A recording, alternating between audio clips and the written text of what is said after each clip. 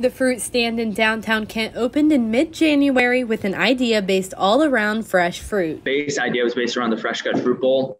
Uh, and so we, we sell a decent amount of those, but really it's the acai bowl. Then we do warm and overnight oats. All of the fruit stand's items are customizable, dairy free, fresh fruits made with no additional sugars. He offers a, a very unique product, uh, great fresh fruit uh, with toppings, and you can make it as healthy or as unhealthy as you want to make it. You get a crunchy out of that. Would you like walnut vanilla or a birthday cake? I like the fruit stand because it offers a lot of different options, like a fruit bowl or smoothie bowl or oatmeal or anything that you're feeling on that particular day. Despite opening in the middle of a pandemic, business at the fruit stand has exceeded many expectations. I originally was planning on doing everything myself, and I thought I could do this all by myself, no employees.